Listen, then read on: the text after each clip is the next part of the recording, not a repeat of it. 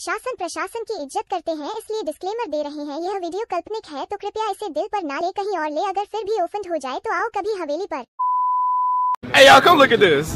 ये पूरा जो है मंजर है। अच्छा। और ये फिर ये ग्रुप निकलेगा मोटरसाइकिल से।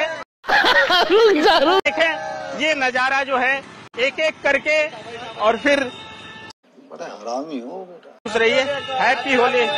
No, no, no, no.